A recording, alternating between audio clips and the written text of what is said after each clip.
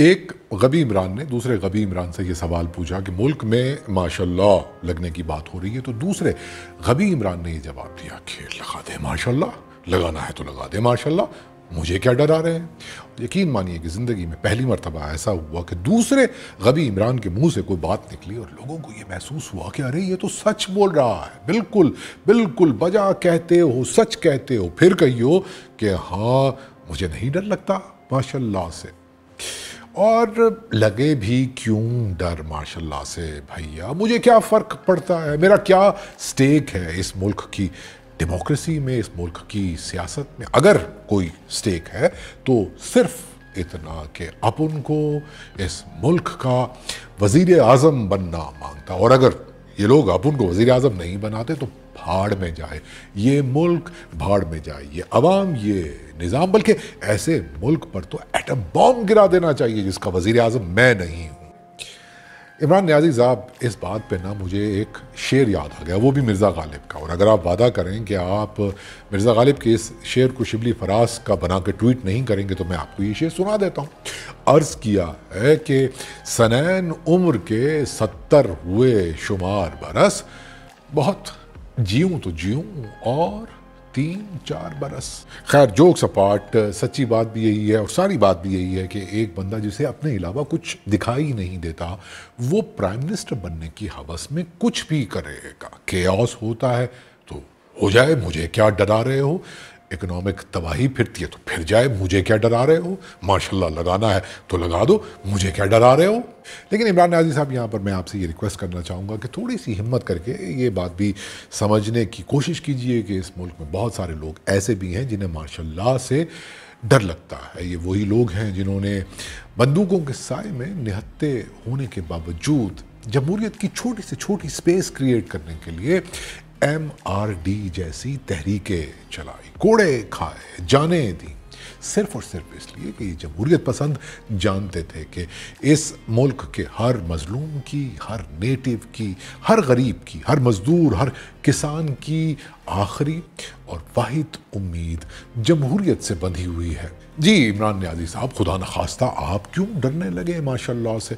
माशाल्लाह से डरे तो यहाँ का पख्तून, यहाँ का बलोच, सिंधी सराइकी जो ये बात बहुत अच्छी तरह जानता है कि यही हाई जैक्ट जमहूरियत, उसकी लास्ट होप है। यही जमहूरियत उसे बचा सकती है। पाकिस्तान को कॉलोनी बनाकर रूल करने वाले डिक्टेटर्स से, यही जमहूरियत उसे नजात दिला सकती है, उस प्रोपेगेंडे से जिसने कभी उसे मुल्क दुश्मन साबित किया, कभी जाहिल साबित किया, कभी गद्दार, कभी गैर महजब और कभी काफर। जी न्याजी भाई, माशाल्लाह से डरे आपके दुश्मन, बल्कि डरे वो नस्लों की नस्लें जिन्हें पहले जनरल ज़ियाउल हक ने जिहाद के नाम पर गुर्बत और मौत के हवाले कर दिया। और फिर जनरल परवेज मुशर्रफ ने उन्हें दहशत गर्दी के हवाले कर दिया। जी न्याजी साहब, समझ में आती है ये बात कि आप क्यों डरे लॉ लगने से? डरे वो बलोच, वो पख्तून जिनके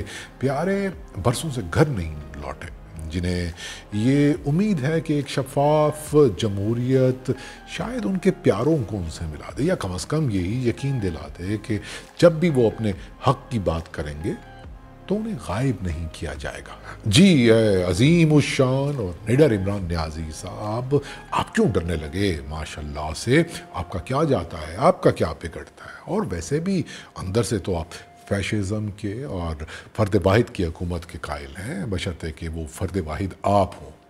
तो समझने की बात यही है कि जमहूरियत के जाने से बिगड़ता है उन लोगों का, जिन्होंने यहाँ के नेटिव को उन्हीं के वसाइल में, उन्हीं का हिस्सा दिलाने के लिए कानून साजियाँ की। आइन में अट्ठारहवीं तरमीम की और मेक श्योर किया कि दुनिया पाकिस्तान को लेजिटिमेट समझे। मेक श्योर किया कि यहाँ का नाराज़ नौजवान सिस्टम पर एतबार करना सीखे। पाकिस्तान बचे, पाकिस्तान खपे। जी, इमरान न्याजी साहब, भला आप क्यों खौफ खाएँगे? माशाल्लाह से कि आपके दिल में तो खौफ खुदा तक नहीं है। इसीलिए तो आप सबको प्रवोक करके और क्योस फैला के मुल्क में माशाल्लाह लगवाना चाह रहे हैं और हज़ार जतन करके इस स्पेस क्रिएट करती हुई जमहूरियत की बिसात लपेटना चाह रहे हैं कि मैं नहीं तो कोई भी नहीं। मगर सुन लीजिए खान साहब, एक सच्ची जमहूरियत पसंद, एक अजीम सियासतदान, एक अजीम खातून का कौल कि जमहूरियत बेहतरीन इंतकाम है। और जिस दिन इस जमहूरियत ने आपसे इंतकाम लिया ना तो यकीन कीजिए कि आप पाकिस्तानी सियासत में उतने ही इरेलीवेंट हो जाएँगे जितने जनरल ज़ियाउल हक और जनरल परवेज़ मुशर्रफ जैसे डिक्टेटर्स